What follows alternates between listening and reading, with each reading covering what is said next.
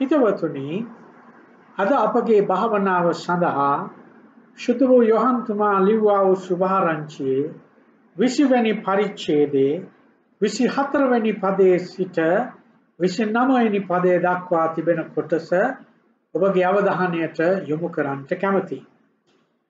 එහි 24 වෙනි පදේ මෙන්න මෙහෙම දෙයක් සඳහන් වෙනවා.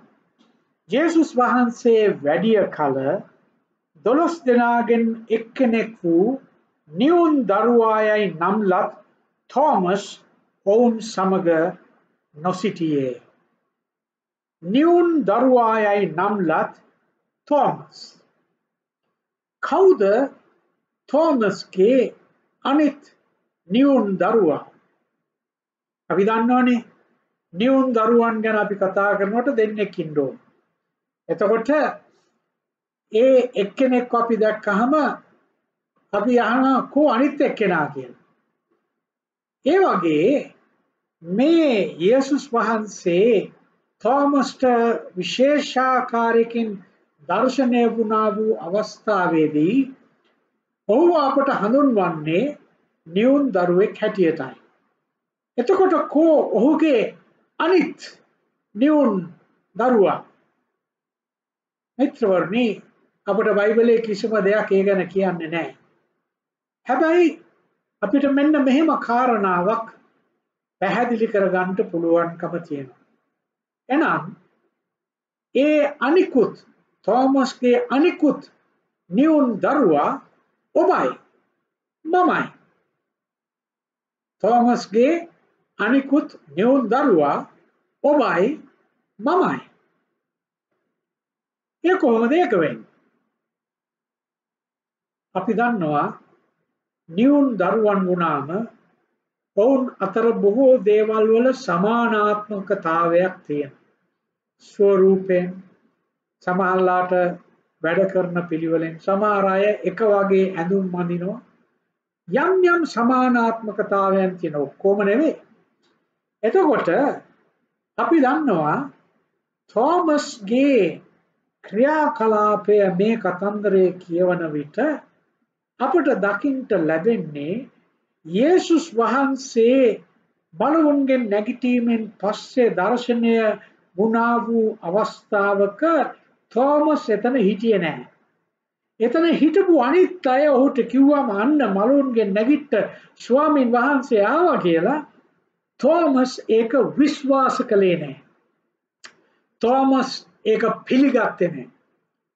ඒ විතරක් නෙවෙයි ඔහු කිව්වා මගේ ඇඟිල්ල යේසුස් වහන්සේගේ ద్వාරවලට දාලා පරීක්ෂණය කරලා බැලුවොත් මිසක් මම නම් පිළිගන්නේ නැහැ කිව්වා.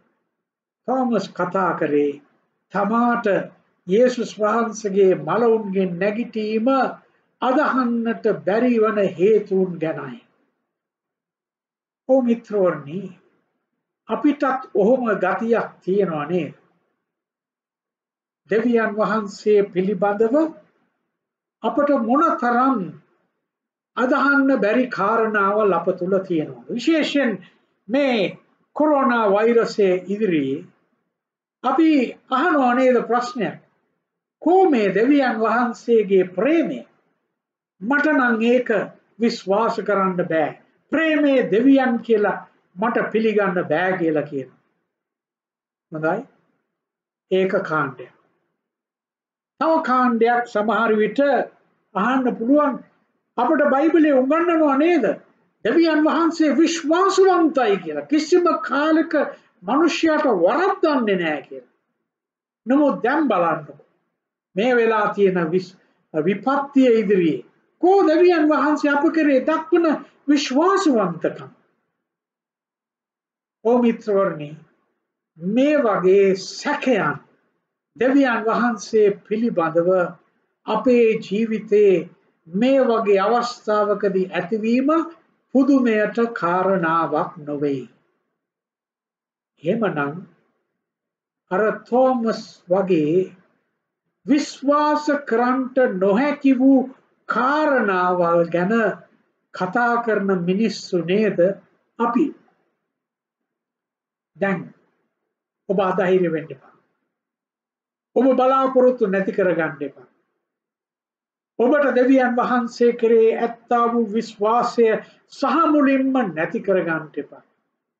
මන්ද අපට දකින්ට ලැබෙනවා ශුද්ධ දේව වචනේ මේ සිද්ධිය සිදුවන අවස්ථාවේදී තෝමස් තමාට යේසුස් වහන්සේ මලුන්ගෙන් නැගිටලාය කියලා කිසිසේත්ම අදහන්ට පිළිගන්ට බැහැයි කිව්ව අවස්ථාවේදී යේසුස් වහන්සේ ඔහු වෙනුවෙන් ඔහු වෙනුවෙන් විශේෂාකාරයකින් නැවත ඇවිත් පෙනී සිටිනවා.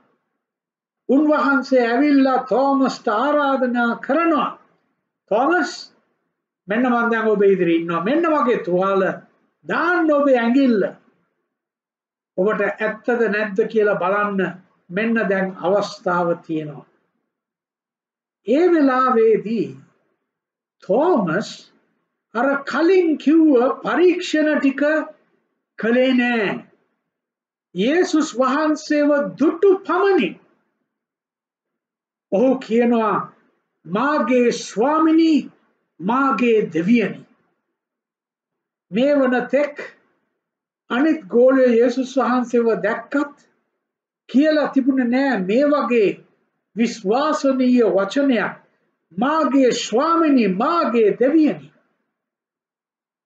ඒක අසහාය ඇදහිල්ලේ වාක්‍යයක් බවට පත් වුණා.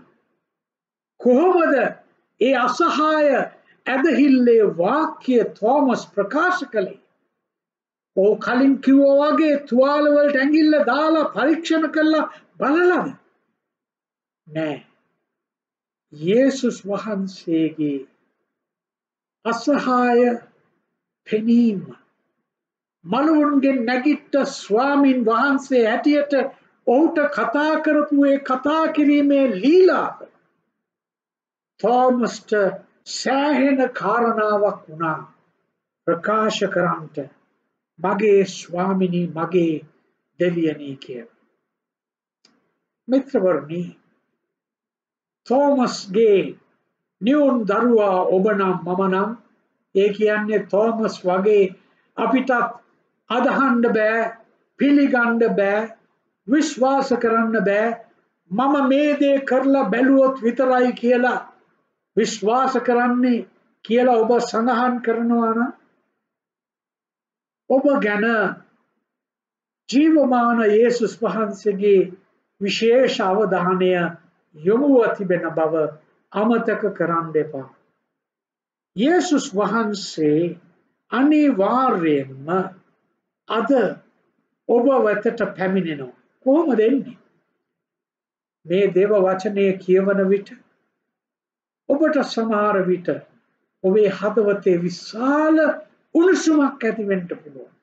මේ කොටස විතරක් නෙවෙයි අපි දේව වචනේ විවිධ ස්ථාන කියවන විට අපට එකවරටම යම් දේවල් වටහා ගන්නට පුළුවන්කම ලැබෙනවා. එකවරටම අපි මෙච්චර කල් නොදැකපු සත්‍යතාවය අපට හදවතින් පිළිගන්ට පුළුවන්කම ලැබෙනවා. ඒවා තමයි අර තෝමස් වෙනුවෙන් යේසුස් වහන්සේ විශේෂයෙන් එළිදරව් වුණා වූ මොහොත වැනි මොහොතවල්. හිතවතුනි මේ කොරෝනා වෛරසය ඉදිරියේ අපි නොයෙකුත් අදහා ගන්න බැරි දේවල් ගැන කතා කරන නමුත් අපට දෙවියන් වහන්සේ ගැන සැකයන් පහළ වන නමුත් අපි එක දෙයක් අමතක නොකරමු. එනම් අපට ඒ අදහගන්ට බැරි. අප තුළ ඇති වී තිබෙන සැකයන් දෙවියන් වහන්සේ පිළිබඳ අපි ප්‍රකාශ කරන විට ඒවා උන්වහන්සේට ඇසෙනවා. ඒ වගේම උන්වහන්සේ ඔබ ගැන විශේෂ අවධානයක් යොමු කරනවා. ඒ නිසා හිතවතුනි ඔබත් තෝමස්ගේ නිවුන්නෙක් නම් ඒක ආශිර්වාද ලත් අවස්ථාව. මන්ද ඔබේ ප්‍රශ්නය ඔබට අදහගන්ට බැරිදේ ඔබට විශ්වාස කරන්නට බැරිදේ මෙවෙලාවේදී ඔබ ප්‍රකාශ කරන විට උන්වහන්සේ ඔබ ගැන විශේෂ අවධානයක් යොමු කරමි. ඒ මොහොතට ඔබ සූදානම්ව සිටින්ද කැමතිද. ඒ මොහොත ඔබට දේව වචනය කියවීම තුළින් වෙන්න පුළුවන්. තව කෙනෙක් ඔබට දේව වචනය පහදාදීම තුළින් වෙන්න පුළුවන්. එහෙම නැත්නම් ඔබම ඒ අදහගන්න බැරි කාරණාවල් ගැන වාද විවාද කරන මොහොතක් වෙන්නට පුළුවන්. නමුත් ඒ මොහොතේදීම ඔබට උන්වහන්සේගේ පැහැදිලි හඬ උන්වහන්සේ ජීවමාන තැනැන් වහන්සේ හැටියට ඔබට කතා කරන මොහොත පැමිණෙනවා. ඒ මොහොතට ඔබ සූදානම්ව සිටින්න. විශේෂයෙන් මේ කොරෝනා වෛරසය ඉදිරියේ ඔබගේ සිතේ පැන නගින ප්‍රශ්න හැම දෙයක්ම උන්වහන්සේ ඉදිරියේ ප්‍රකාශ කරන්න. ඒවාට උන්වහන්සේ ඔබ සමග අමනාප වෙන්නේ නැහැ. ඒවා ප්‍රකාශ කරන මොහොතවල් වලදී ස්වාමින් වහන්සේ ඔබ වෙනුවෙන් විශේෂාකාරයකින් ඔබට එළිදරව් වීමක් දෙන්නට යනවා. ඒ එළිදරව් වීම ලැබුණ මොහොතේදී ඔබට අසහාය ලෙස උන්වහන්සේ වද්දකින්ට පැමිණෙන හැකි වෙනවා පමණක් නොවේ. ඒ අසහාය අත්දැකීම තුළ ඔබේම මුඛයෙන් ඔබේම සිතෙන් උන්වහන්සේ ජීවමාන තැනැන් වහන්සේ බවට ඔබට ප්‍රකාශ කරන්නට ලැබෙනවා ඇති. ඒ උතුම් අත්දැකීමට ඔබ දැන් ඇතුල් වන්න අපි යාඥා කරමු. මලවුන්ගෙන් නැගිට්ට තෝමස් නම් නිවුන් තැනැත්තාව සොයාගෙන ආවා වූ යේසුනි අදත් ඔහුගේ නිවුන් දරුවන් මෙන් අපටත් සැකයන් පහළව අදහාගණ්ඩ බැරි කාරණාව උත්තර නැති ප්‍රශ්න අපි අහමින් සිටින මේ අවස්ථාවේදී ඔබ වහන්සේ අප වෙතට විශේෂයෙන් එළිදරව් වුණ මැනව. ඔබ වහන්සේම අපට අසහාය ලෙස ඔබ වහන්සේව රස බලා දැන ගැනීමේ මොහොතක් දේව වාක්‍යයෙන් කතා කරන අවස්ථාවක් තවත් කෙනෙකු තුලින් අපට එළිදරව් වීමක් එසේත් නැත්නම් යාඥාවේ පියවී සිටින මොහොතකදී අප තුල දැනෙන හදවත් උණුසුම් වීම ඔබ වහන්සේ අපට දෙන්න. ඒ කරුණ කොටගෙන මේ කොරෝනා වෛරසය ඉදිරියේ අපි නොයෙකුත් උත්තර නැති ප්‍රශ්න අසමින් අපගේ සැකයන් ප්‍රකාශ කරමින් සිටින මොහොත ඔබ වහන්සේ හා සමග අසහාය අත්දැකීමකට ඇතුල් වන මොහොතක් බවට ඔබ වහන්සේ පරිවර්තනය කළ මැනව. ඒ අසහාය මොහොත අපේ ජීවිතයට ළඟා වූ විට ස්වාමිනී අපට අසහාය ඇදහිල්ල ඔබ වහන්සේ ඉදිරියේ ප්‍රකාශ කරන්නට අපව ධෛර්යමත් කළ මැනව. ජීවමාන යේසුනි ඔබ වහන්සේ ඇවිත් අපව ස්පර්ශ කළ මැනව. අපට කතා කළ මැනව. අපගේ හදවත් උණුසුම් කළ මැනව. ඔබ වහන්සේගේ උතුම් නාමයෙන් අපි මෙය ඉල්ලා සිටිමු. ආමෙන්. ඔබට ජේසු පිහිටයි.